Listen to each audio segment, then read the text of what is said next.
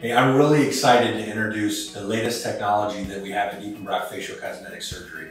InMode makes a machine called Embrace RF, which is a multimodality treatment for skin tightening, for fine lines and wrinkles, for non-surgical facelifts. And the great thing about what we're about to do, I'm gonna show you the Morpheus 8 procedure.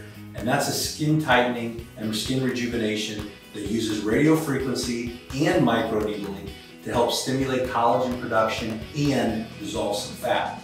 The cool thing about this is unlike so many other skin resurfacing techniques, this is useful on all skin types. So there's no one that can't come in and have these treatments done because of the amount of pigment that they have in their skin. So we're great, we're super excited to, to show this. We're the only people in Fort Wayne that have this technology. And so get a good look at how this works and we'll show you how we use it in clinical practice.